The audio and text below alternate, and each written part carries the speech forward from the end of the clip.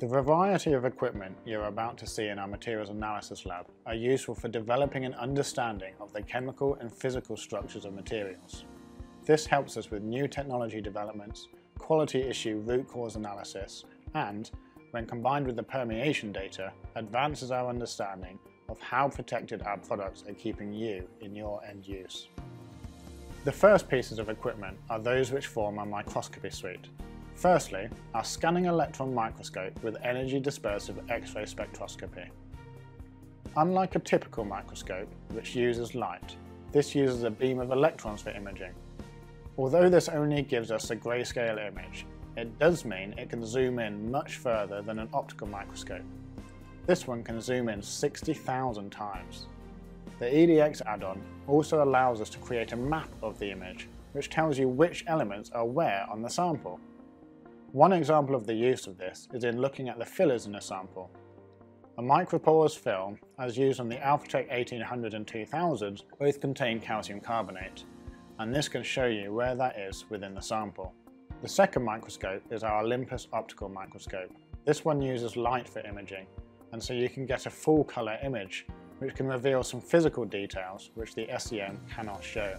This one can zoom in up to a theoretical maximum of about a thousand times. It also has add-ons that allow us to obtain extra detail of the surface structure and also look at where stress is in a plastic sample, such as a visor material. Where the microscopy suite can reveal details on the physical structure of materials, and the SEM EDX can reveal the elements present, the FTIR reveals the molecular structure. The difference between elemental and molecular structures can be understood by looking at these molecules. Both of these are made up of carbon, the black parts, and hydrogen, the white parts. The elemental analysis will look at both of these and say that there is carbon present, whereas molecular analysis will be able to tell you that one of them is linear and one of them is circular. In the real world, this helps us to determine things such as the polymer types of a material and the plasticizers present. In addition to the FTIR, we're able to analyse the molecular structure of materials using the GCMS and LCMS in the chemical lab. By extracting and dissolving them in solvents, this can sometimes reveal information with a higher level of sensitivity and specificity than the FTIR alone.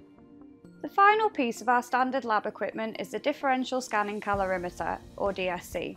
Small samples of material are heated and cooled and the energy required for this can give us important information on the material's thermal properties. These can be melting points, freezing points and crystallization states, where an important physical change has occurred in the material.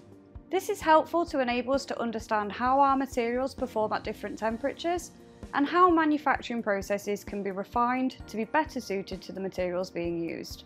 Our final capability is not a standard piece of lab equipment, but a high-performance workstation computer.